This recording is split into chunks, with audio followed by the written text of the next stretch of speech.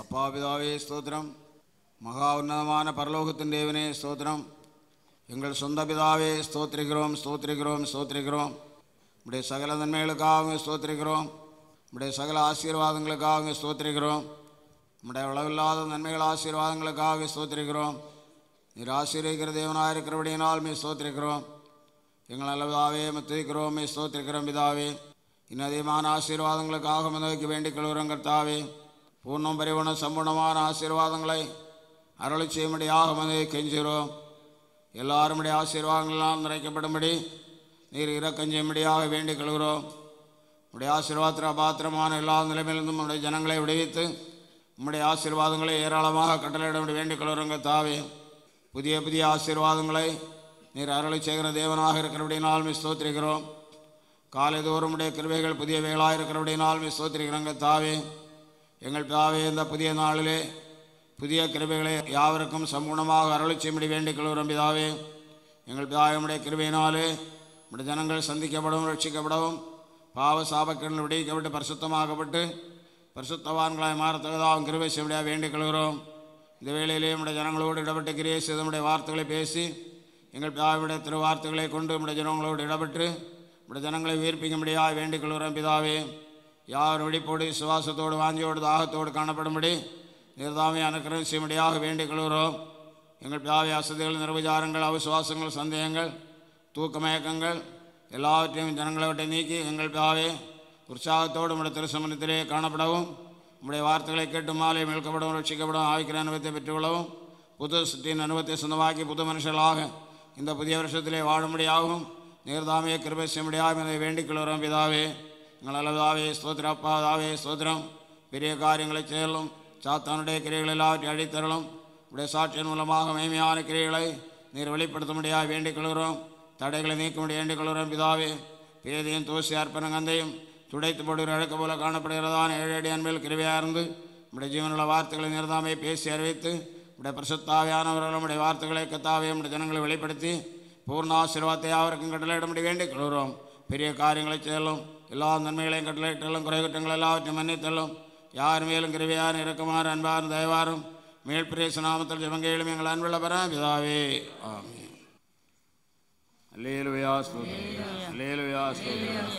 எல்லாரும் ஆண்டவரை துதிப்போம்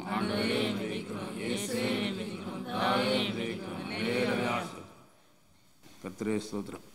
வெளிப்படுத்தின விசேஷம் இருபத்தி ஒன்றாவது அதிகாரம் ஒன்னெண்டு ரெண்டு வசனங்களை வாசிக்கிறேன் வெளிப்படுத்தல் இருபத்தி ஒன்றாவது அதிகாரம் ஒன்றும் ரெண்டும் வசனங்கள் பின்புதான் புதிய வானத்தையும் புதிய பூமியும் கண்டேன் முந்தின வானமும் முந்தின பூமியும் முடிந்து போயின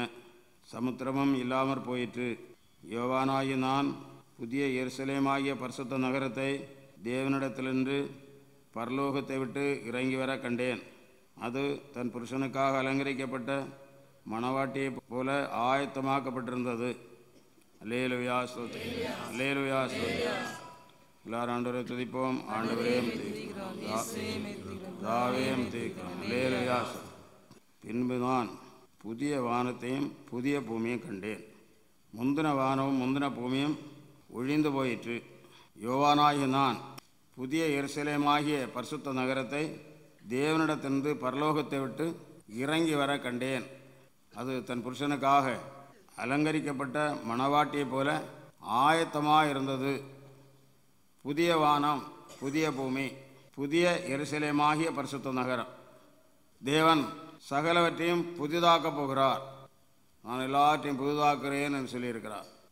பழையவைகள் இனி நினைக்கப்படுவதில்லை என்பதை குறித்தும் சொல்லப்பட்டிருக்கிறது ஏசாயா தெற்கு திருநாறு அறுபத்தைந்தாவது அதிகாரம் பதினேழு பதினெட்டு வருஷங்களிலே வாசிக்கும் போது இதோ நான் புதிய வானத்தையும் புதிய பூமியையும் சிருஷ்டிக்கிறேன் இதோ நான் புதிய வானத்தையும் புதிய பூமியையும் சிருஷ்டிக்கிறேன் முந்தினவைகள் இனி நினைக்கப்படுவதில்லை முந்தினவைகள் பழையவைகள் இனி நினைக்கப்படுவதில்லை மனதிலே தோன்றுவதும் இல்லை மனதிலே தோன்றுவதும் இல்லை நான் சிருஷ்டிக்கிறதுனாலே நீங்கள் என்றென்றைக்கும் மகிழ்ந்து கலை கூர்ந்திருங்கள் நான் சிருஷ்டிக்கிறதுனாலே நீங்கள் என்றென்றைக்கும் மகிழ்ந்து கலிகூர்ந்திருங்கள் இதோ எருசலேமே கலிகூறுதலாகும் இதோ எருசலேமே கலிகூறுதலாகும் அதன் ஜனத்தை மகிழ்ச்சியாகவும் சிருஷ்டிக்கிறேன் அதன் ஜனத்தை மகிழ்ச்சியாகவும் சிருஷ்டிக்கிறேன் தேவன் புதிதாக சிருஷ்டிக்க போகிறார் பழைய வானம் பழைய பூமி இவைகளை தேவன் அழித்து போட்டு புதிய வானத்தையும் புதிய பூமியையும் உண்டு பண்ண போகிறார் பழைய வானம் சில வானங்கள் அசுத்தமாகிவிட்டது சாத்தானாலே அசுத்தப்படுத்தப்பட்டு விட்டது இந்த பூலோகம் சாத்தானுடைய கிரியாகிய பாவத்தினால் பழசாய் போனது அசுத்தமாகிவிட்டது பழசாய் போனது இந்த பூலோகம் இந்த பூமி பழசாய் போக காரணமாக இருந்தது என்னவென்றால் முதலாவது மனுஷன் பழசானா மனுஷன் பழசாகி போனான் அழுக்காகி போனான் தீட்டப்பட்டு விட்டான் மனுஷனை தேவன் எதற்காக உண்டு பண்ணினார் என்றால் எப்போதும் அவன் புதிதானவனாக அல்லது தீட்டுப்படாதவனாக தேவனுக்கு ஏற்றவனாக புதிதாக இருக்கும்படியாகவே உருவாக்கினார் உண்டு பண்ணினார் விசேஷமாக உண்டு பண்ணினார் மனுஷனை தேவன் மிகவும் விசேஷமாக உருவாக்கினார் நூற்றி முப்பத்தி ஒன்பதாவது சங்கீதம் பதினான்காவது வசன தேவாசியங்கள் மனுஷனை தேவன் மிகவும் விசேஷமாக சிருஷ்டித்தார் அதிசயமானவனாக சிருஷ்டித்தார் அதிசயமாக மனுஷனை தேவன் சிருஷ்டித்திருக்கிறார் வாசியங்கள் நூற்றி முப்பத்தி ஒன்பதாவது சங்கீதம் பதினான்காவது வசனம் நான் பிரமிக்கத்தக்க அதிசயமாய் உண்டாக்கப்பட்டபடியால் உம்மை துதிப்பேன் பிரமிக்கத்தக்க அதிசயமாய் உண்டாக்கப்பட்டவர் பிரமிக்கப்படத்தக்க அதிசயமாக மனுஷனை அவர் உண்டு பண்ணினார் நான் பிரமிக்கத்தக்க அதிசயமாக உண்டாக்கப்பட்டபடியினால் உம்மை துதிப்பேன் உமது கிரியைகள் அதிசயமானவைகள் அவர் மகா அதிசயமானவராக இருந்து அதிசயமாக மனுஷனை உண்டாக்கினார் பிரமிக்கத்தக்க அதிசயமான ஒரு சிற்றியாக மனுஷனை உண்டு பண்ணி வைத்தார் அவன் ஒருபோதும் பழசாய் போகக்கூடாது அவன் எப்போதும் சிற்றிக்கப்பட்ட பிரகாரமாகவே தேவன் ஆதியிலே அவனை சிற்றித்த பிரகாரமாகவே இருக்க வேண்டும் ஆதியிலே மனுஷனை சிருஷ்டித்து அவருடைய மகிமையினாலும் கனத்தினாலும் நிறைத்து அவருடைய சகல பாக்கியங்களினாலும் நிறைக்கப்பட்டவனாக மனுஷனை ஆண்டவர் ஏற்படுத்தினார் அப்படி ஏற்படுத்தப்பட்டதான மனுஷன் இன்றைக்கும் எப்பொழுதும் எல்லா நாட்களிலும் அவன் அப்படியே காணப்பட வேண்டும் பழசாகி போகக்கூடாது புதியவனாகவே எப்போதும் இருக்க வேண்டும் அதற்காகவே தேவன் மனுஷனை உண்டாக்கினார் மனுஷனை உண்டாக்கி இந்த உலகத்தை காக்கும்படியாகவும் பாதுகாக்கும்படியாகவும் ஏற்படுத்தினார் அப்படி பாதுகாக்கும்படியாக ஏற்படுத்தப்பட்டதான மனுஷன் கெட்டு போனான் அவன் தன்னையே பாதுகாக்க திராணி இல்லாதவனாக மாற்றப்பட்டு அவன் தேவனால் கொடுக்கப்பட்ட பாக்கியங்கள் எல்லாவற்றையும் இழந்து பழசாகி அழுக்காகி கெட்டு போனான் அவனுடைய நிலைமை மகா பரிதாபமாக மாறிவிட்டது ஏசாயா திருக்கத்திரிசி புஸ்தகம் அறுபத்தி நான்காவது அதிகாரம் ஆறாவது வசனத்தை வாசிக்கும் போது அங்கே என்ன பார்க்கிறோம் நாங்கள் அனைவரும் தீட்டானவர்கள் போல இருக்கிறோம் தீட்டானவர்களைப் போல இருக்கிறார்கள் தீட்டுப்பட்டு விட்டார்கள் தேவனுடைய பார்வையில் இவர்கள் அசுத்தர்களாக மாறிவிட்டார்கள் தீட்டுப்பட்டு விட்டார்கள் உதவாதவர்களாக மாறிவிட்டார்கள் படசாகி போனார்கள் எந்த நோக்கத்தோடு தேவன் அவனை உண்டு பண்ணினாரோ அந்த நோக்கத்துக்கு மாறானவனாக மாறிவிட்டான் எப்படிப்பட்ட விசேஷமானவனாக இருக்கும்படி உண்டு பண்ணி வைத்தாரோ அதற்கு மாறானவனாக சகல விசேஷத்தை இழந்தவனாக தீட்டப்பட்டவனாக அசுத்தனாக மாறிவிட்டான் வாசிங்கள் நாங்கள் அனைவரும் தீட்டானவர்கள் போல இருக்கிறோம் எங்களுடைய நீதிகள் எல்லாம் அழுக்கான கந்தை போல இருக்கிறது நாங்கள் அனைவரும் இலைகளை போல் உதிர்கிறோம் எங்கள் அக்கிரமங்கள் காற்றை போல எங்களை அடித்துக் கொண்டு போகிறது எப்படி தீட்டானார்கள் எதனாலே தீட்டானார்கள் அக்கிரமம் கீழ்ப்படியாமை கீழ்ப்படியாமை தான் ஒரு பயங்கரமான அக்கிரமம் முதல் முதலாவதாக அவர்கள் செய்ததான் அக்கிரமம் இதுதான் கீழ்ப்படியாமை தேவனுடைய வார்த்தையை மீறினார்கள் அக்கிரமம் செய்தார்கள் அந்த அக்கிரமத்தினால் அவர்கள் மிகவும் தீர்ப்பானவர்களாக மோசமானவர்களாக அசுத்தமானவர்களாக மாற்றப்பட்டு விட்டார்கள் தேவனுடைய பார்வையிலே அசுத்தர்களாக மாறிவிட்டார்கள் அருவறுப்பானவர்களாக மாறிவிட்டார்கள் அப்படி அருவறுப்பானவர்களாக அசுத்தர்களாக மோசமானவர்களாக மாற்றப்பட்ட போதிலும் தேவன் அவர்களை அப்படியே விட்டுவிட சித்தம் கொள்ளாமல் அவர்களை மறுபடியும் சிந்தித்து அவர்களை ஆதி மைமையிலே கொண்டு வரும்படியாக விரும்பி மைமையான வாக்கு தத்தங்களை அருளியிருக்கிறார் இந்த மனுஷனை மறுபடியும் சிட்டிக்கவும் இந்த பூலோகத்தை அழித்து வேறு லோகத்தை வேறு பூமியை உண்டு பண்ணும்படியாகவும் தேவன் தீர்மானம் கொண்டான் நான் சிற்றிக்கிறதுனாலே நீங்கள் மகிழ்ந்து களி கூறுங்கள் மகிழ்ச்சியாகவும் களி கூறுதலாகவும் சுற்றிக்கிறேன் மகிழ்ச்சியாகவும் களி கூறுதலாகவும் சிற்றித்தார் மனுஷர்கள் பாவம் செய்த போது அவர்களுக்கு கொடுக்கப்பட்டிருந்ததான மகிழ்ச்சியும் களி கூறுதலும் எல்லாம் நஷ்டப்பட்டு விட்டது துக்கம் சமாதான கேடு சஞ்சலங்கள் பலவிதமான கேடுகளினாலும் நோயினாலும் பிசாசினாலும் பிடிக்கப்பட்டு துக்கத்தோடு மனஸ்தாபத்தோடு காணப்படுகிறார்கள் நூற்றி ரெண்டாவது சங்கீதம் பதினெட்டாவது வாசியங்கள் பதினெட்டாவது பெண் சந்ததியாக இது எழுதப்படும் சிஷ்டிக்கப்படும் ஜனம் கர்த்தரை துதிக்கும் சிற்றிக்கப்படுகிறதான ஜனங்கள் புதுசாக மனுஷனை அவர் சிற்றிக்க சித்தமுடையவராக இருக்கிறார் அவர்கள் எப்படிப்பட்டவர்களாக இருப்பார்கள் கர்த்தரை துதிக்கவும் அவரை ஸ்தோத்திரிக்கவும் அவரை மயமப்படுத்தவும் அவருக்கு ஏற்றவர்களாக காணப்படுவார்கள் அவருடைய பார்வையிலே மேன்மையானவர்களாக விசேஷித்தவர்களாக மாறுவார்கள் அப்படி மனுஷர்களை மறுபடியும் சுற்றிக்கும்படியாகவும் நாம் காண்கிறதான இந்த வானத்தையும் இந்த பூமியையும் தேவன் அழித்து போடும்படியாகவும் சித்தமுடையவராக இருக்கிறார் நாம் காண்கிறதான வானத்தையும் பூமியை அழித்து வேறு வானத்தையும் பூமியையும் தேவன் உண்டு பண்ணி புதிய எருசலேமாகிய வருஷத்த நகரத்தை புதிய பூமியிலே இறங்கி வர பண்ணி அவராலே சிற்றிக்கப்படுகிறதான ஜனங்களை அங்கே வாசம் பண்ண வைப்பார் வெளிப்படுத்தின விசேஷம் இருபத்தொன்றாம் அதிகாரம் ஒன்று ரெண்டு வசனங்களை மறுபடியும் வாசியுங்கள் பின்புதான் புதிய வானத்தையும் புதிய பூமியையும் கண்டேன் புதிய வானம் புதிய பூமி புதிய வானத்தையும் புதிய பூமியையும் தேவன் அவருடைய சாட்சியாய் யோவானுக்கு வெளிப்படுத்தி காண்பித்தார் அவர் உண்டு பண்ண போகிறதான புதிய வானத்தையும் புதிய பூமியை காண்பித்தார் அடுத்த பாகம் முந்தின வானமும் முந்தின பூமியும் ஒளிந்து போயின முந்தின வானமும் முந்தின பூமியும் ஒழிந்து போயின அது காணப்படவில்லை அப்படியே அகன்று போய்விட்டது வானங்கள் மட மட என்று அகன்று போகின்ற சொல்லுகிறது வானங்கள் எப்படி மட மட என்று அகன்று போகும் பூதங்கள் வெந்து உருகி போகும்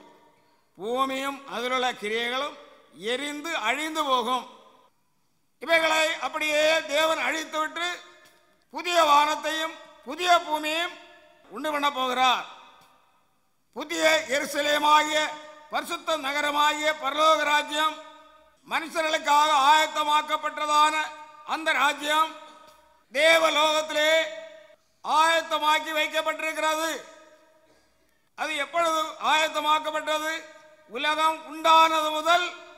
ஆயத்தமாக்கப்பட்டது என்று கத்ராய கிறிஸ்து இயேசுதாமே சொல்லியிருக்கிறார் மத்திய எழுதின சுவிசேஷம் இருபத்தி ஐந்தாவது அதிகாரம் முப்பத்தி நான்காவது வசனத்திலே வாசிக்கும் போது அங்கே சொல்லப்பட்டிருக்கிறார் அப்பொழுது ராஜா தமது வலது பக்கத்தில் இருப்பவர்களை பார்த்து பாருங்கள் என் பிதாவினால் ஆசீர்விக்கப்பட்டவர்களே உணவு உண்டான முதல் உங்களுக்கு ஆயத்தம் பண்ணப்பட்டிருக்கிற ராஜ்யத்தை சுதந்திரித்துக் கொள்ளுங்கள் பரலோகத்திலே அது உண்டு பண்ணி வைக்கப்பட்டிருக்கிறது அல்லது தேவலோகத்திலே தேவன் வாசம் பண்ணுகிற பரலோகத்திலே தேவலோகத்திலே அது உலகம் உண்டானது முதல் ஆயத்தமாக்கி வைக்கப்பட்டிருக்கிறது அந்த ராஜ்யத்துக்கு தான் புதிய எருசலேமாகிய பரிசுத்த நகரம் என்று பெயர் அந்த புதிய எரிசலியமாகிய பரிசுத்த நகரம் தேவலோகத்திலிருந்து இறங்கி வரும் தேவன் சிற்றிக்கிறதான புதிய பூமியிலே அது ஸ்தாபிக்கப்படும் கிறிஸ்து அங்கே ராஜாதி ராஜாவாக வீட்டிருப்பார் அவருடைய ஜனங்கள் அங்கே அரசாட்சி செய்வார்கள் அவருடைய ஜனங்களுக்காக பரிசுத்தவான்களுக்காக அவருடைய ஜனங்களுக்காக உண்டு பண்ணி வைக்கப்பட்டிருக்கிறதான தான் இது இது மிகவும் விசேஷமானது மிக மேன்மையானது மிகவும் அலங்கரிக்கப்பட்டது அது ஒருபோதும் பார்த்து ஆசை அதை பார்த்து ஒருபோதும் ஆசை அப்படிப்பட்ட விசேஷமான அலங்கரிப்புள்ளதாக காணப்படும் அந்த ராஜ்யத்திலே பிரவேசிக்க வேண்டுமானால் மனுஷர்கள் புதிதாக சிற்பிக்கப்பட்டே ஆக வேண்டும் புதிதாக்கப்பட வேண்டும் புதிய சக்தியாக மாற வேண்டும் புதிய சக்தியாக தேவன் மாற்றுபடி சித்தம் கொண்டிருக்கிறார் அதற்கென்று தேவனிடத்திலே ஒரு உடன்படிக்கை பண்ணிக்கொள்ள வேண்டும் தாங்கள் புதுப்பிக்கப்பட வேண்டுமானால் புது சக்தியாக மாற வேண்டுமானால் தேவனிடத்திலே விசேஷமான உடன்படிக்கை பண்ணுகிறவர்களாக காணப்பட வேண்டும் தேவன் உடன்படிக்கை பண்ணியிருக்கிறார் தேவன் மனுஷர்களுக்காக உடன்படிக்கை பண்ணியிருக்கிறார் பழைய ஏற்பாட்டு காலத்திலே ஒரு பழைய உடன்படிக்கை இருந்தது அந்த உடன்படிக்கையின்படி அந்த ஜனங்கள் அந்த உடன்படிக்கையிலே நிலநிற்கவில்லை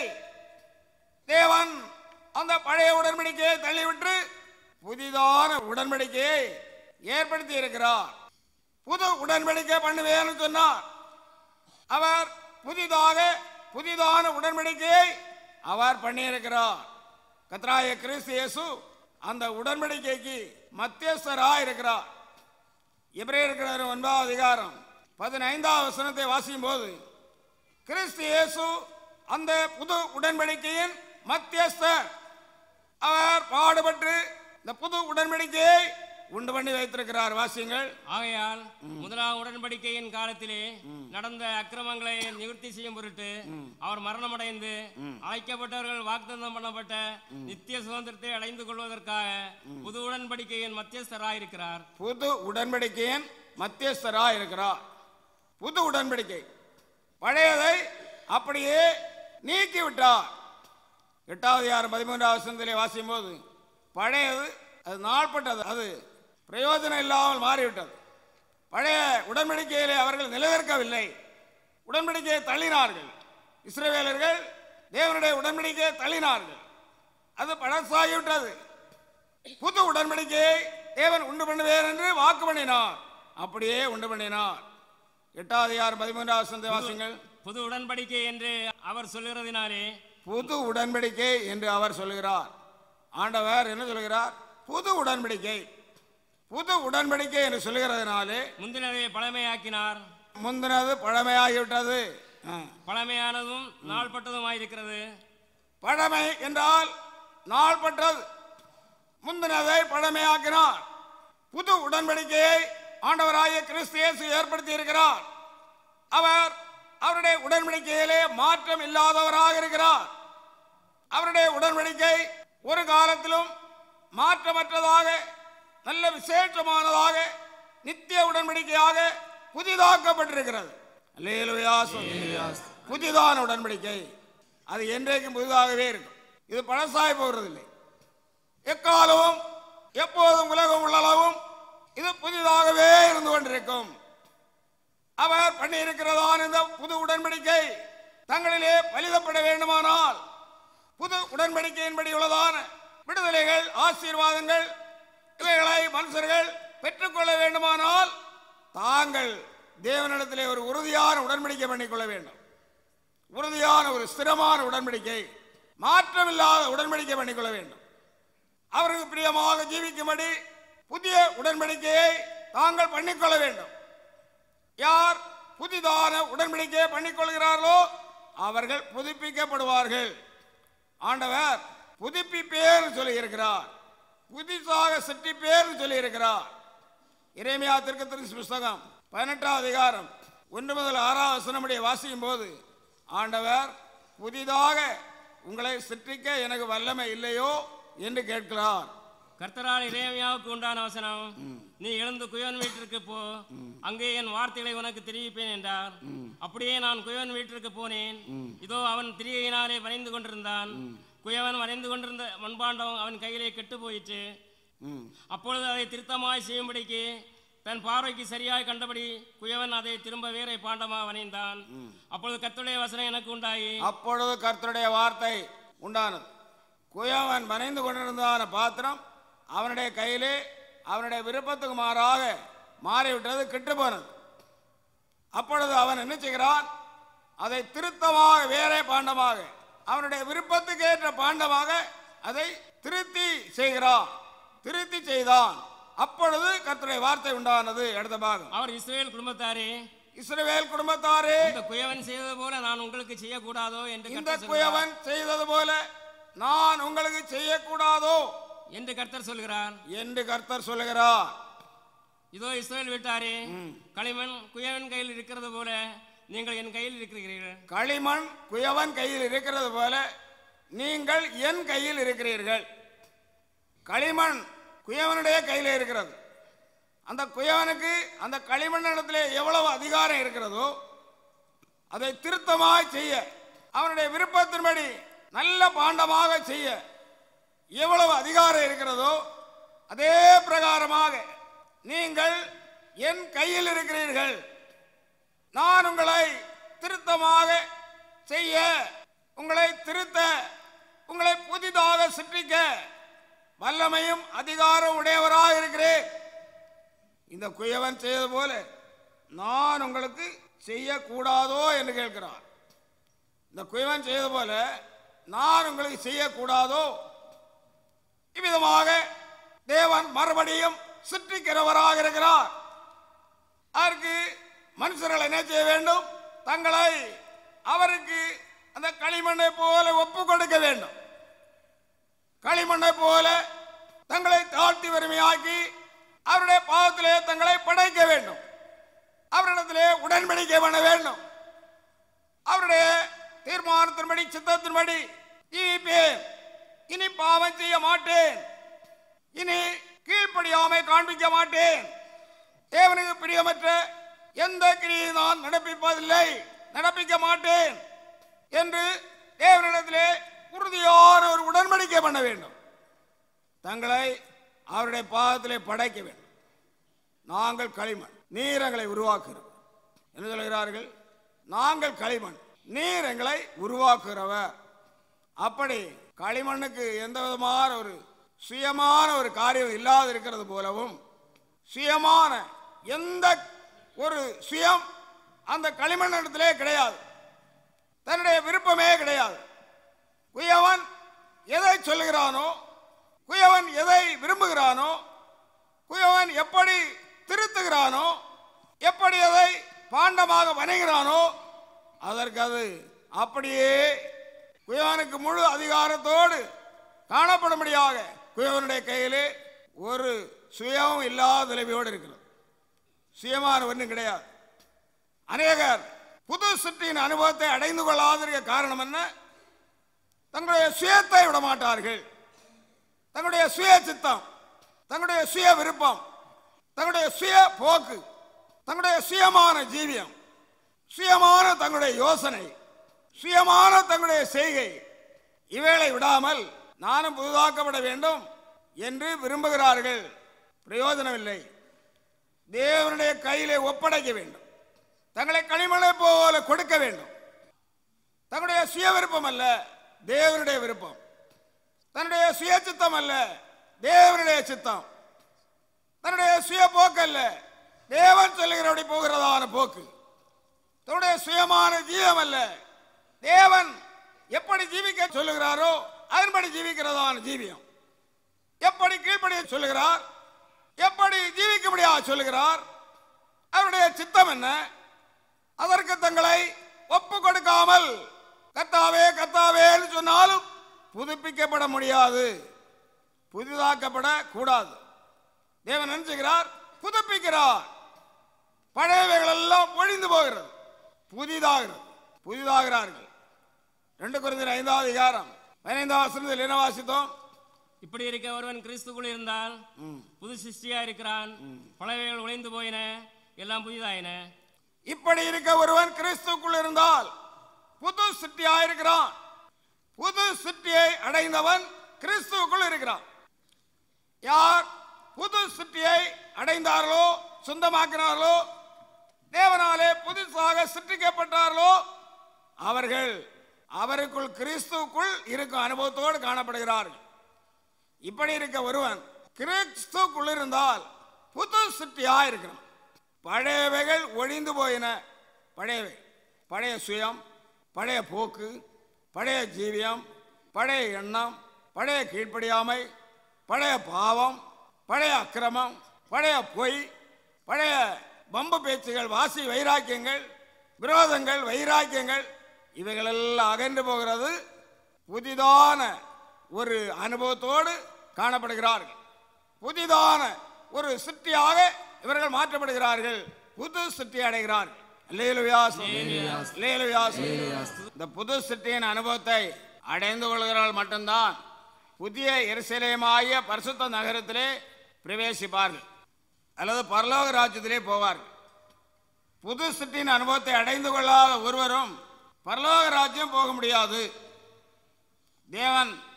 எல்லாவற்றையும் புதுப்பிக்க காரணம் என்ன அது அவருடைய தீர்மானம்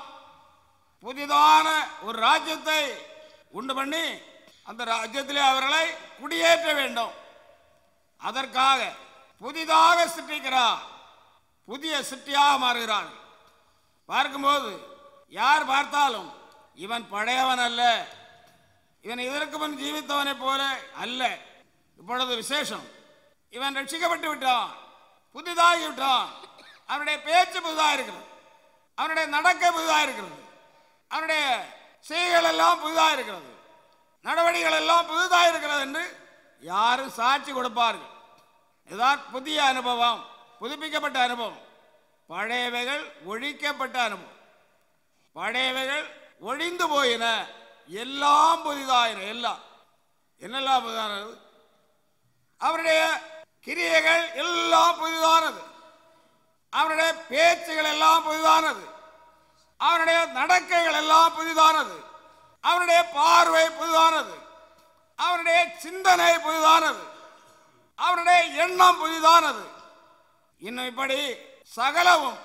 புதிதான ஒரு அனுபவத்தை அவன் அந்த உடன்படிக்கையின் மூலமாக சொந்தமாக்கி கொண்டான் அல்லேலுயா அல்லேலுயா புதிதான அனுபவத்தை சொந்தமாய் கொண்டான் இப்படி இருக்க ஒருவன் கிறிஸ்துவுக்குள்ள இருந்தால் புது இருக்கிறான் பழையவைகள் ஒழிந்து போயின எல்லாம் புதிதாயின புதுப்பிக்கப்பட்டிருக்கிறாயா இவ்விதமான புதுப்பிக்கப்பட்ட அனுபவத்தை அடைந்திருக்கிறாயா இந்த புது வருஷத்திலேயாவது இந்த புதுப்பிக்கப்பட்ட அனுபவத்தை அடைந்து கொள்ள ஜாக்கிரதைப்படு ஒரு நல்ல புதிய உடன்படிக்கை பண்ணிக்கொள் நிறுவனத்திலே புதிய அனுபவத்தை புது சிருஷ்டி அனுபவத்தை எனக்கு தர வேண்டும் ஆண்டவரே நான் உம்முடைய வழியில் நடப்பேன் உமக்கு பிரியமாக ஜீவிப்பேன் உமக்கு ஏற்ற கிரிகளை செய்வேன் இனி பாவம் செய்ய மாட்டேன் என்னென்ன பாவங்கள் உண்டோ அவைகளை ஒவ்வொன்றாக சொல்லி அவரிடத்தில் அறிக்கையிட்டு அப்படி விண்ணப்பம் பண்ணுவாயானால் புது சிருஷ்டியின் அனுபவத்தை அடைந்து கொள்வாய் புது சிருஷ்டியின் அனுபவத்தை அடைந்து கொண்டவர்கள் நல்ல விசேஷமான புதிய ஜீவனுடையவளாக மாறுவார்கள் புது ஜீவன் பழைய ஜீவன் அல்ல புது ஜீவன் புது ஜீவனுடையவளாக மாறுவார்கள் புது ஜீவனை சொந்தமாக்கி புது ஜீவனுடையவர்களாக மாற்றப்படுவார்கள் ரோமருக்கு நிருபம் ஆறாம் அதிகாரம் நான்காவது மேலும் பிதாவின் மைமையினாலே கிறிஸ்து மறித்தோர்ந்து எழுப்பப்பட்டது போல நாம் புதிதான ஜீவனுள்ளவராய் நடந்து கொள்ளும்படிக்கு புதிதான ஜீவன் நான் புதிதான ஜீவன் உள்ளவர்களாக நடக்கிறோம் புதிதான ஜீவன் புதிய ஜீவன் புது ஜீவன் புதிய ஜீவனுடையவர்களாக மாறுகிறார்கள் புதிய மனுஷர்களாக மாற்றப்படுகிறார்கள் புது மனுஷர்கள் புதிய ஜீவனை பெற்று அவர்கள் ஜீவனுள்ள சாட்சிகளாக தேவனுக்கு ஏற்ற சாட்சிகளாக புதுப்பிக்கப்பட்டதான மனுஷர்களாக மாறுகிறார்கள் புதுப்பிக்கப்பட்டதான மனுஷன் புதிய மனுஷன் புதிய மனுஷனை தரித்து கொள்கிறார்கள் புதிய மனுஷனாக புது மனுஷர்களாக மாறுகிறார்கள் எபேசிருக்கிற நான்காவது அதிகாரம் இருபத்தி நான்காவது சிறுத்தை வாசியங்கள் மெய்யான நீதியிலும் பரிசுத்திலும் தேவனுடைய சாயலாய் சிருஷ்டிக்கப்பட்ட புதிய மனுஷனை தெரிவித்துக் கொள்ளுங்கள் தேவனுடைய சாயலாய் சிருஷ்டிக்கப்பட்டதான புதிய மனுஷன் தேவனுடைய சாயலாய் சிருஷ்டிக்கப்பட்டதான புதிய மனுஷன் ஆதியிலே தேவன் மனுஷனை எப்படி உண்டு பண்ணினார் அவருடைய சாயலாகவும் அவருடைய ரூபத்தின்படியும் உண்டு பண்ணினார் அவருடைய சாயலை இழந்தான் அவருடைய ரூபத்தை இழந்தான் அவருடைய மகிமையை இழந்தான் அவருடைய ஆசீர்வாதங்களை இழந்தான் இப்பொழுது மறுபடியும் சிட்டிக்கும் போது தேவன் ஆதியிலே அவரை எப்படி சிட்டித்தாரோ அதே பிரகாரமாக அவருடைய சாயலாக மறுபடியும் சிட்டிக்கிறார் மறுபடியும் அவருடைய சாயலாக அவர்கள் சிந்திக்கப்படுகிறார்கள் அவருடைய புதிய ஆவியை அவர்கள் பெற்று வாழுகிறார்கள் புதிய ஆவியினால் இறைக்கிறார் இருபத்தி மூன்றாம் வசனத்தில் வாசிக்கும் போது புதிய ஆவி என்று சொல்லப்பட்டிருக்கிறார் இருபத்தி மூன்றாம் வசனம் உங்கள் உள்ளத்திலே புதிதான ஆவி புதிதான ஆவியை வைக்கிறார் உள்ளத்திலே புதிதான ஆவியை வைக்கிறார் இது என்ன ஆவி மனுஷனுடைய ஆவிதான் தேவ ஆவி ஒன்று இருக்கிறது அல்லது பரிசுத்தாவியானவர் ஒருவர் இருக்கிறார் பரிசுத்தாவியானவரையும் தேவன் அவருடைய ஜனங்களுக்குள்ளே வைக்கிறார் மனுஷனுக்குள்ளே ஒரு ஆவி இருக்கிறது அது மனுஷ ஆவி மனுஷ ஆவியை அன்றி மனுஷனுக்குரியவைகளை எவன் அறிவான் என்று சொல்லப்பட்டிருக்கிறது தேவ ஆவியை அன்றி தேவனுக்குரியவைகளை எவன் அறிவான் மனுஷ ஆவி தேவனுடைய ஆவி என்று ரெண்டு ஆவி மனுஷாவியது மனுஷனுக்குள்ளே இருக்கிறதான பலன் தேவாவி என்றால் என்ன தேவனுடைய பலன் பிரசித்தாவியானவர் தேவனத்திலிருந்து வருகிறதான பலன் மனுஷாவி என்றால் மனுஷனுக்குள்ளே இருக்கிறதான பலன் பாவத்தோடு காணப்படுகிறதான மனுஷனுக்குள்ளே இருக்கிற பலன் எதை செய்ய ஏற்றதா இருக்கிறது பாவத்தை செய்ய ஏற்றதா இருக்கிறது பாவத்தை தான் நடப்பிக்கிறது அசுத்தத்தை நடப்பிக்கிறது பாவத்தையும் அசுத்தத்தையும் செய்ய அதற்குள்ள பலன்தான் பழைய பலன் பலனை புதுப்பித்துக் கொள்ளுங்கள் என்று சொல்கிறார் உங்கள் பலனை புதுப்பித்துக் கொள்ளுங்கள் புதிய பலனை பெற்றுக்கொள்ளுங்கள் பழைய பலன் இருக்கிற கால வரையிலும் பாவத்தை செய்ய தூண்டிக்கொண்டிருக்கிறது கொண்டிருக்கிறது பாவத்தை செய்ய வைக்கிறது கீழ்ப்படியாமை பாவம் தேவ சித்தத்துக்கு மாறான காரியங்கள் இவைகளை செய்ய வைக்கிறது பழைய பலன் தேவன் நினைச்சுகிறார் அவருக்கு ஏற்றபடி வாழும்படியாக புதிய பலனை கொடுக்கிறார் புது பலன் நல்ல விசேஷமான பலன் புது பலனை அவர் அருளை செய்கிறார் சகலவற்றையும் புதாக்குகிறார் புது நாமத்தை தருகிறார் புதிய நாமம் புது நாமம் என்று சொல்லப்பட்ட கர்த்தர் சொல்லுகிறதான புதிய நாமம் ஏசாயா திருக்க திருச்சி புஸ்தகம் அறுபத்தி ரெண்டாவது அதிகாரம் நீதியையும் ராஜாக்களும் உன் காண்பார்கள் கர்த்தருடைய வாய் சொல்லும் புது நாமத்தால் நீ அழைக்கப்படுவாய் கர்த்தருடைய வாய் புது நாமத்தை சொல்லும் இவர்களுக்கு ஒரு புது நாமத்தை கொடுக்கும் வாய் கர்த்தர் புதிய நாமத்தை கொடுப்பார் கர்த்தரே நாவு வாய் இவர்களுக்கு நல்ல விசேஷமான ஒரு புதிய நாமத்தை கொடுப்பார் இவர்கள் பழைய நாமுடையவர்கள் அல்ல பழைய பெயருடையவர்கள் அல்ல பழைய நாமம் அல்ல பழைய பேர் என்ன பாவி புதிய பேர் என்ன பரிசுத்தவான் தேவனுடைய பரிசுத்தவான் பரிசுத்தவான் என்றதான புதிய நாமத்தை புதிய பெயரை கர்த்தர் அவனுக்கு கொடுப்பார் எவ்வளவு பாக்கியமான காரியங்களை ஆண்டவர் செய்கிறார் புது நாமத்தினால் அழைக்கப்படுவான் அமிதமாய் தேவன் புது நாமத்தை கொடுக்கிறவர் மட்டுமல்ல புதிய பாட்டு என்று சொல்லப்பட்டிருக்கிறது புதிய பாட்டு புதிய பாட்டை கொடுக்கிறார் அது என்ன பாட்டு நாப்பாசங்க இரண்டாவது சந்தை வாசிங்கள் நமது தேவனை துதிக்கும் புதுப்பாட்டை அவர் என் வாயிலே கொடுத்தார் அது என்ன பாட்டு தேவனை துதிக்கிறதான புதுப்பாட்டு தேவனை துதிக்கக்கூடியதான பாட்டு அதுவரையிலும் அவர்கள் தேவனை துதிக்கக்கூடியதான புது பாட்டு இல்லாதவர்களாக இருக்கிறார்கள் தேவனை துதிக்கும் அனுபவத்திற்கு மாறானவர்களாக அல்லது அதற்கு தகுதியற்றவர்களாக அதற்கு ஆயத்தாற்றவர்களாக காணப்படுகிறார்கள் தேவனை துதிக்கிறதான புது பாட்டு அடுத்த பாகம் அநேகர் அதை கண்டு பயந்து கர்த்தனை நம்புவார்கள் மற்றவர்கள் பயப்படத்தக்கதாக இருக்கும் இவருடைய வாயிலிருந்து புறப்படுகிறதான அந்த புது பாட்டு தேவனுடைய பலத்த கிரியைக்கு ஏற்றதாக காணப்படும் தேவனுடைய பயமையான கிரியை இவருடைய தேவனை துதிக்கும் புதுப்பாட்டின் மூலம் இவர்கள் தேவனை துதிக்கிறதனால் இவர்கள் மூலமாக நடைபெறும் அதை பார்த்து மற்றவர்கள் என்ன செய்வார்கள் பயப்படுவார்கள் இவர்கள் தேவனுடைய ஜனங்கள் இவர்கள் தேவனுடைய பிள்ளைகள் தேவனுடைய ஜனங்கள் என்று பயப்படுவார்கள் கத்துடைய ஜப வீடாகிய இந்த ஜப வீடு ஆரம்பத்தில் எப்படி இருந்தது மூங்கில் போட்டு கட்டின ஷெட்டாக இருந்தது அந்த ஜபவோடு வைக்கிறதான அந்த கட்டுகிறதான அந்த காலத்திலே கிறிஸ்துவன் ஸ்தானாபதியாக ஐயா அவர்கள் இங்கே இருந்து புறப்பட்டு கடைக்கு போனார்கள் கயர் வாங்க முடியாது கட்ட முடியாது அப்பொழுது வழியிலே ஒரு பயங்கரமான முட்டுகிறதான ஒரு பலத்த காளை கட்டப்பட்டிருந்தது வழி ஓரத்தில் அவர்கள் அப்படியே போய்கொண்டிருக்கிறார்கள் அந்த காளை என்ன செய்கிறது சீறி இடிக்கும்படியாக குத்தும்படியாக பயங்கரமான ஆவேசத்தோடு வருகிறது பார்த்தார்கள் அப்படி அந்த கையை இப்படி காண்பித்து ஸ்தோத்திரம் என்று சொன்னார்கள் ஸ்தோத்திரம் என்று சொன்னார்கள் உடனே அந்த காளையின் பின்னாலே உள்ளதான ரெண்டு கால்களும் தறி அரைந்து கட்டி போட்டது போல முன்னே வர முடியாமல் அது முன் காலை வைத்து அப்படியே ஆவேசப்பட்டு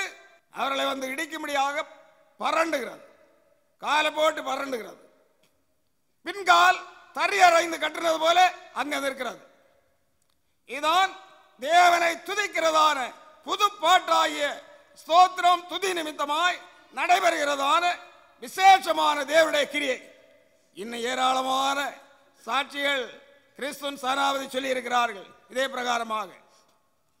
அநேக சாட்சிகள் உண்டு அவருடைய ஜீவிய அந்த அனுபவம் அவர்கள் ஒரு காலத்திலே இந்துவாய் காணப்பட்டார்கள் தேவனை அறியாமல் காணப்பட்டார்கள் மெய் தேவனை தேடினார்கள் மெய் தேவன் அவர்களை சந்தித்தார் ரட்சித்தார் அது முதல் புது சுற்றின் அனுபவத்தை அடைந்து இந்த புது பாட்டு தேவனாலே கொடுக்கப்பட்ட ஒரு விசேஷமான அனுபவத்தோடும் கூட காணப்பட்டார்கள் இன்னும் அநேக சாட்சிகள் சொல்லியிருக்கிறார்கள் அவ்விதமாக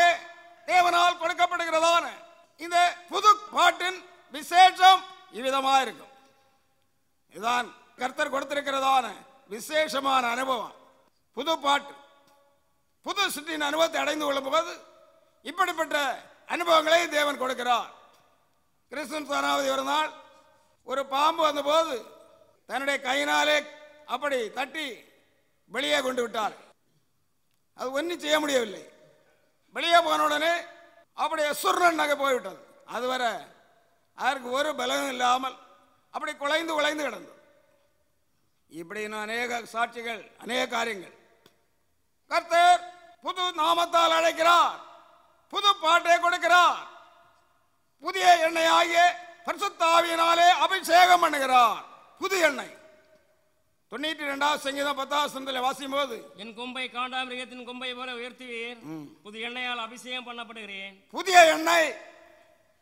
அதான் பரிசுத்தாவியானவர் அதான் தேவனுடைய பலன் புது எண்ணெயால் அபிஷேகம் பண்ணப்படுகிறார்கள் தேவ ஆவியினால் நிறைக்கப்பட்டு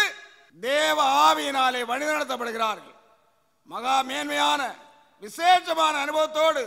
அவர்கள் பசுத்தவான்களாக விளங்குகிறார்கள் தேவ ஆவியானவர் அவர்களை தேவனுடைய வழியிலே நடத்துவார் பரிசுத்த பாதையிலே நடத்துவார் பரிசுத்தமான வழியிலே நடத்துவார்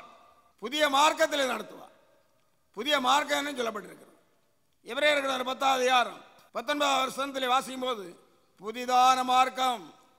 புதிய மார்க்கம் அந்த புதிதான மார்க்கம் தான் பரலோகம் போய் சேருகிறதான மார்க்கம் புதிதான நாமம் புது பாட்டு புதிதான கட்டளையும் கொடுக்கிறார் புதிதான கட்டளை யோவான் சுஜனம் பதிமூன்றாவது அதிகாரம் முப்பத்தி நான்காவது சந்தவாசியங்கள் நீங்கள் ஒருவரில் ஒருவர் அன்பாயிருங்கள் நான் உங்களில் அன்பாயிருக்கிறது போல நீங்களும் ஒருவரில் ஒருவர் அன்பாயிருங்கள் என்கிற புதிதான கட்டளையை உங்களுக்கு கொடுக்கிறேன் புதிதான கட்டளையை கொடுக்கிறேன் மறுபடியும் நீங்கள் ஒருவரில் ஒருவர் அன்பாயிருங்கள் நான் உங்களில் அன்பாயிருந்தது போல நீங்களும் ஒருவரில் ஒருவர் அன்பாயிருங்கள் என்கிற புதிதான கட்டளையை உங்களுக்கு கொடுக்கிறேன் புதிதான கட்டளையே கொடுக்கிறார் அது என்ன அன்பாயிருங்கள் ஒருவரில் ஒருவர் அன்பாயிருங்கள் அன்புடையவளாக இருங்கள் இது தேவனால் கொடுக்கப்பட்டதான விசேஷமான ஒரு புதிய கட்டளையா இருக்கிறது அன்புள்ளவன் எப்படி இருப்பான் எப்படி காணப்படுவான் ஒன்று குறைந்தர் பதிமூன்றாம் அதிகாரத்திலே வாசிக்கும் போது அன்பு எப்படி காணப்படும் என்பதை குறித்து அங்கே சொல்லப்பட்டிருக்கிறது ஒன்று குறைந்தர் பதிமூன்றாம் அதிகாரம் ஒன்று முதல் எட்டாவது நம்முடைய வாசியங்கள் நான் மனுஷர் பாசைகளையும் தூதர் பாசைகளையும் பேசினாலும் அன்பு எனக்கு இராவிட்டால் சத்தமிடுகிற வெண்கலம் போலவும் ஓசையிடுகிற கைத்தாளம் போல இருப்பேன் அன்பு இல்லாவிட்டால் ஒரு பிரயோஜனம் இல்லை என்பது அடுத்த பாகம் நான் தீர்க்க வரத்தை உடையவனாயிருந்து சகல ரகசியங்களையும் சகல அறிவையும் அறிந்தாலும் மலைகளை பேர்க்கத்தக்கதாக சகல விசுவாசம் இருந்தாலும் அன்பு எனக்கு இல்லாவிட்டால் நான் ஒன்றுமில்லை எந்த பிரயோஜனம் இல்லை அடுத்த எனக்கு உண்டான யாவற்றையும் நான் அன்னதானம் பண்ணினாலும் என் சரீரத்தை சுட்டரிக்கப்படுவதற்கு கொடுத்தாலும் அன்பு எனக்கு இராவிட்டால் எனக்கு பிரயோஜனம் பிரயோஜனம் இல்லை அன்பு இல்லாவிட்டால் யாதொரு பிரயோஜனமும் இல்லை அடுத்த பாகம் அன்பு நீடிய சாந்தமும் அன்பு அன்புடைய குணத்தை குறித்து சொல்லப்பட்டிருக்கிறது அன்பு எப்படி இருக்கும் நீடிய சாந்தம் உள்ளதா இருக்கும் அன்புள்ளவன் நீடிய சாந்தம் உள்ளவனா இருப்பான் அன்பு நீடிய சாந்தம் உள்ளது தயவு உள்ளது தயவு அன்புக்குள்ள இருக்கிறதான ஒரு அனுபவம் என்ன தயவு அன்பினால என்ன ஏற்படுகிறது தயவு ஏற்படுகிறது அடுத்த பாகம் அன்புக்கு பொறாமை இல்லை பொறாமை பொறாமை என்பது ஒரு எலும்புரிக்கு என்று வேதம் சொல்கிறார் மற்றவர்கள் முன்னேறுகிறது இவர்களை பிடிக்காது அடுத்தவன் முன்னேறுகிறது தனக்கு பிடிக்காது ஒரு பொறாமை அது தனக்குத்தானே கேடு அது அன்பற்ற தன்மை அன்புக்கு பொறாமை இல்லை அடுத்த பாகம் அன்பு தன்னை புகழாது அன்பு தன்னை புகழாது தனக்கு ஒரு புகழ்ச்சியை விரும்பாது தனக்கு புகழ்ச்சியை விரும்புகிறவர்கள் அன்பில்லாதவர்கள் என்பது தனக்கொரு சொந்தமான புகழ்ச்சியை யார் விரும்புகிறார்களோ அவர்கள் அன்பில்லாதவர்கள் அன்பில்லாவிட்டால் வேறு என்ன இருந்து பிரயோஜனம் இல்லை தன்னுடைய சரீரத்தை சுட்டறிக்க கொடுத்தாலும் பிரயோஜனம் இல்லை என்று சொல்கிறார் அன்பு தன்னை புகழாது இருமாப்பா இராது ஒரு இருமா பலது தான் எல்லாம் அறிந்திருக்கிறேன் எனக்கு எல்லாம் தெரியும் என்றதான ஒரு ஒரு அகந்தையான எண்ணம் இருமாப்பான எண்ணம் அது நிமித்தமாக இவர்கள் கீழ்ப்படியாமை காண்பிப்பார்கள் இருமாப்பு அன்பு இருமாப்பா இராது அடுத்த பாகம் அயோக்கியமானதை செய்யாது அயோக்கியமானதை செய்யாது யோக்கியதையான காரியங்களை மட்டும் செய்யும் அயோக்கியமானதை செய்யாது அடுத்த பாகம் தற்பொழிவை நாடாது தனக்கு ஒரு பொழிவை நாடாது தேவனுடைய சித்தமே பாக்கியம் என்று காணப்படும் தேவனுடைய சித்தம் எதுவோ அது பாக்கியம் தேவனுடைய பிரியமானது எதுவோ அது பாக்கியம் தற்பொழியை நாடாது அடுத்த பாகம் சின்னமடையாது தீங்கு நினையாது அநியாயத்தில் சந்தோஷப்படாமல் சத்தியத்தில் சந்தோஷப்படும் சகலத்தையும் தாங்கும் சகலத்தையும் விசுவாசிக்கும் சகலத்தையும் நம்பும் சகலத்தையும் சகிக்கும் சகலத்தையும் சகிக்கும் சின்னமடையாது சத்தியத்தில் சந்தோஷப்படும் சகலத்தையும் தாங்கும் என்ன வந்தாலும் தாங்கும் கத்திர நாமத்திலே எது வந்தாலும் மனப்பூர்வமாக தாங்குவார்கள் எல்லாவற்றையும் தாங்கி சகித்து தேவனுக்கு பிரியமான அனுபவத்தோடு காணப்படுவார்கள் அதுதான் அன்பு அப்படி அன்பா இருக்க வேண்டும் என்றதான புதிதான கட்டளையை கிறிஸ்து இயேசு கொடுத்திருக்கிறார் இவ்விதமான ஒரு கட்டளை புது சுற்றின் அனுபவத்தை அடைந்து கொண்டதான ஜனங்களுக்கு கொடுக்கப்படுகிறது அடுத்தபடி என்ன புது மார்க்கம் புதிய மார்க்கம் இருக்கிறது பத்தாவது அதிகாரம் பத்தொன்பதாவது வசனத்தில் என்ன சொல்லப்பட்டிருக்கிறது ஆகையால் சகோதரி நாம் பரிசுத்த ஸ்தலத்தில் பிரவேசிப்பதற்கு இயேசுவானவர் தமது மாம்சமாய திரையின் வழியாய் புதிதும் ஜீவனமான மார்க்கத்தை நமக்கு கொண்டு பண்ணினபடியா புதிதான மார்க்கம் இதற்காக பரலோக ராஜ்யம் போகும்படியாக அல்லது புதிய எரிசலயமாகிய பரிசுத்த நகரமாகிய பரலோக ராஜ்யத்திலே போய் சேர வேண்டுமானால் இந்த புதிய மார்க்கத்திலே பிரவேசிக்க வேண்டும் ஏசாயா திருக்கத்தின் புஸ்தகம் முப்பத்தி ஐந்தாவது அதிகாரம் எட்டாவது சனத்திலே வாசிக்கும் போது அது பரிசுத்தமான மார்க்கம் பரிசுத்தமான வழி என்று சொல்லப்பட்டிருக்கிறது வாசியுங்கள் அங்கே பெரும்பாதையான வழியும் இருக்கும் அது பரிசுத்த வழி என்னப்படும் அசுத்தம் கிடையாது அசுத்தம் அருவறுப்பு இல்லாத பரிசுத்தமான வழி பரிசுத்த வழி என்னப்படும் தீட்டுள்ளவன் அதிலே நடந்து வருவதில்லை யார் அசுத்தர்களாக மாறி இருக்கிறார்களோ யார் ஜீவத்திலே குறைபற்று குற்றங்களும் குறைகளும் அசுத்தமான நிலைமைகளும் தங்களை பிடித்து அப்படி யார் யார் காணப்படுகிறார்களோ அவர்கள் தேவனுடைய வழியை விட்டு விலகி விட்டார்கள் என்பது தேவனுடைய வழியிலே ஜீவித்துக் கொண்டிருந்தாலும் எப்பொழுது தேவனுடைய வழியை விட்டு விலகிறார்களோ அவர்களுக்கு அசுத்தம் உண்டாகிறது தீட்டு உண்டாகிறது தேவனை பிரியமற்ற கிரியை உண்டாகிறது இவர்கள் தேவனுடைய வழியிலே நடக்கிறவர்கள் அல்ல தீட்டுள்ளவன் அதிலே நடந்து வருவது இல்லை அந்த வழியில் நடக்கிறவர்கள் பேரையராயிருந்தாலும் திசை கெட்டு போவதில்லை திசை கட்டு போகாத வழி திசை கட்டு போகாத வழி எங்கே இந்த வழியின் முடிவு எங்கே பரிசுத்த நகரம் புதிய எருசலேம் ஆகிய பரிசுத்த நகரம் புதிய எருசலேம் ஆகிய பரிசுத்த நகரத்திலே அந்த வழி என்ன செய்கிறது கொண்டு விடுகிறது இதான் பாக்கியம் கத்தர் மனுஷர்களை புதுப்பித்து இப்படிப்பட்ட அனுபவங்களை கொடுத்து புதிய எரிசிலைமாகிய பரிசுத்த நகரத்திலே கொண்டு சேர்க்கிறார் இவ்வளவு மேன்மையான அனுபவத்தை ஆண்டவர் ஆயத்தப்படுத்தி இருக்கிறார் அதற்கு இந்த புது வருஷத்தையும் தந்திருக்கிறார் இந்த பரிசுத்தமான வழியிலே புது ஜீவனமான அவருடைய வழியிலே நடக்கும்படியாக அவருடைய ரத்தத்தினாலே உண்டாகிறதோ தைரியத்தை பெற்றுக் கொள்ள வேண்டும் இருவாசனத்தில் என்ன சொல்லப்பட்டிருக்கிறது எபிரேயர் கடன நிருபம் பத்தாவது அதிகாரம் இருபதாவது வசனம் அந்த மார்க்கத்தின் வழியாய் பிரவேசிப்பதற்கு அவருடைய ரத்தத்தினாலே நமக்கு தைரியம் உண்டாய் இருக்கிறபடியினாலும் அந்த மார்க்கத்தின் வழியாய் அந்த மார்க்கத்தின் வழியாய் பிரவேசிப்பதற்கு அவருடைய ரத்தத்தினாலே தைரியம் உண்டாய் இருக்கிறபடியினாலும் அந்த மார்க்கத்தின் வழியாய் அல்லது இந்த பரிசுத்த மார்க்கத்தின் வழியாய் பிரவேசிக்க வேண்டுமானால் ரத்தத்தினால் உண்டாகிற தைரியத்தை பெற்றுக்கொள்ள வேண்டும் ஏசு கிறிஸ்துவ ரத்தம் அந்த மார்க்கத்தின் வழியாக பிரவேசிக்க ஏற்ற தைரியத்தை கொடுக்கிறது உபத்திரவங்கள் உண்டு துன்பங்கள் உண்டு சோதனைகள் உண்டு போராட்டங்கள் உண்டு என்ன வந்தாலும் தேவடைய மார்க்கத்தின் வழியாக ஜீவிக்க ஏற்றதான தைரியத்தை கிறிஸ்திய சுரத்தினாலே பற்றி அவர்கள் ஜீவிக்கிறார்கள் அவர்கள் பரிசுத்த நகரமாகிய அந்த பரலோக ராஜ்யத்திலே போய் சேருகிறார்கள்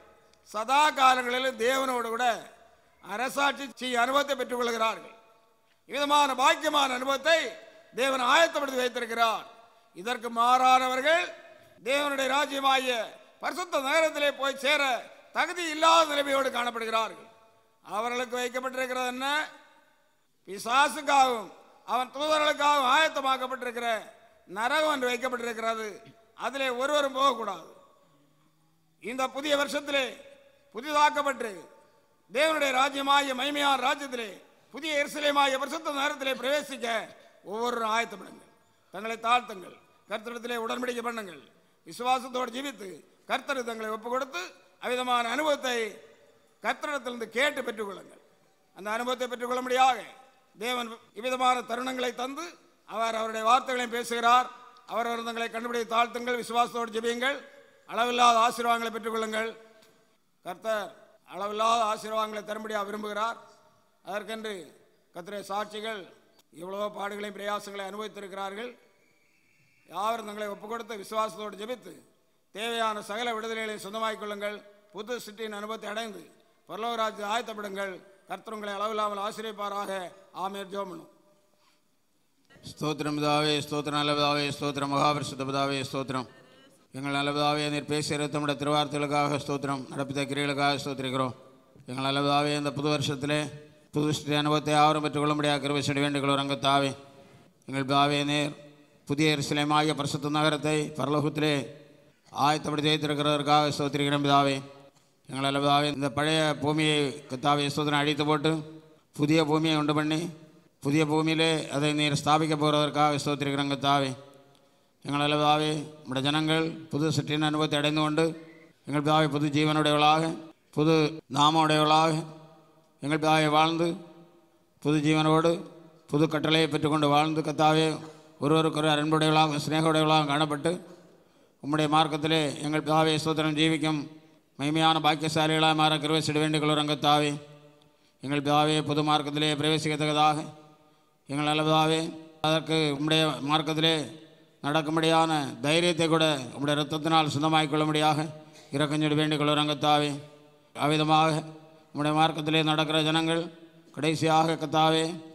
புதிய சிலையமாகிய பிரசுத்த நகரத்திலே போய் சேருவார்கள் என்பதை எல்லாரும் அறிந்து கொள்ள இறக்கஞ்சொடி வேண்டிக் கொள்ள ரங்கத்தாவே அதற்கு மாறான எல்லா காரியங்களையும் அவரை விட்டு விலகி இந்த மகிமையான பாக்கியத்தை பெற்றுள்ள இறக்கம் இந்த நோய்கள் வியாதிகள் எல்லாருக்கும் ஜனங்களை உடைய தாவே ദൈവവിശ്വാസിന് கட்டிலும் ஜனங்களை விடுதலையாக்கிறோம் எங்கள் பிதாவே இந்த வருஷம் முழுவதும் ஆசீர்வாதமான வருஷமாக எல்லாருக்கும் கணவிட கிருபை செய்ய வேண்டிக் கொள்கிறோம் உங்களுடைய கோபத்தை எல்லாவற்றையும் எங்கள் தாயை அப்பா பிதாவை நீக்கிவிட்டு உங்களுடைய மெய்மையான ஆசீர்வாதத்தை எங்கள் பிதாவை யாரும் பெற்றுக்கொள்ள இறக்கம் செய்ய வேண்டிக் கொள்கிறோம் எல்லா தடைகளை அகற்ற முடிய வேண்டிக் கொள்கிறோம் உலகத்தையே சந்திக்க முடிய வேண்டிக் கொள்கிறோம் எங்கள் தாவே உடைய வாக்கு தத்துவங்களை நிறைவேற்ற முடியாத வேண்டிக் கொள்கிறோம் உடைய வாக்கு தத்துவங்களை நிறைவேறும் வருஷமாக காணப்பட கிருபை செய்ய வேண்டிக் கொள்கிறோம் பெரிய காரியங்களை செய்யலங்க தாவை ஸ்தோத்திரம் வேளையிலே நம்முடைய பிள்ளைகள் தங்கள் வீடுகளை புறப்படும் போது கூட இருந்து பாதுகாத்து வேண்டிய எண்ணிக்கை வரும் எந்த விதமான ஆபத்துகளோ மோசங்களோ இன்னும் இல்லாமல் சந்தோஷத்தோடு மகிழ்ச்சியோடு தங்கள் வீடுகளிலே போய் சேர இறங்கி வேண்டிகள் வரும் பெரிய காரியங்களில் வாக்குத்தங்களை நிறைவேற்றியலும் எல்லா ஆசீர்வாதங்களையும் பெருக பண்ணியலும் நம்முடைய ஜனங்கள் கத்தாவே சுதனை எப்போதும் நிலைத்திருந்து எங்கள் தாவே உமாலே கொடுக்கப்படுகிறதான உபதேசங்களை எப்போதும் கடைப்பிடித்து முற்றிலும் பரிசுத்தவான்களாக ஜீவிக்கும் பாக்கியத்தோடு காணப்படத்தக்கதாக நம்முடைய ராஜ்யத்தை ஏற்றவளாக ஜீவிக்க இறக்கஞ்சோடு வேண்டிக் கொள்கிறோம் பெரிய காரியங்களை சில ചില വാക്കുകൾ ഏറേറ്റുള്ള ആശീർവദത്തിന് പെരുകപ്പെണ്ണുകളും எல்லா நன்மையிலும் ആന്തരത്തിലെ யாவரையும் சந்தித்தலும் கிருபைகள் மறைத்துக் கொள்ளும் கிருபையார் இறக்கமாறு அன்பாரும் தயவாரும் மேல் பிரிய சுனாமத்தில் ஜபங்கேளுங்கள் அன்புள்ள பராபிதாவே ஆமேன் கத்ரா இயேசு கிறிஸ்தன் கிருபின் தேவனுடைய அன்பும் பிரசுத்தாவியானுடைய ஐக்கியம் நம்மனையோட சமயத்தோடும் கூட இருப்பதாக ஆமேன்